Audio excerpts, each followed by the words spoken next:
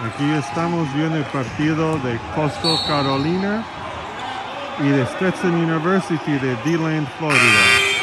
Stetson foul whistle on zero, Christian Jones. First personal, team foul number two. Entering for Stetson, number 12, Josh Smith.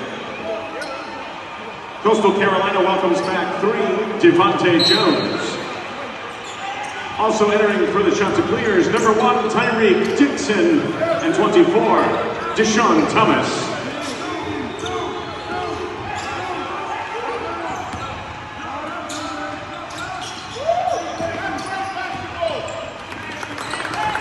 Tyreek Dixon,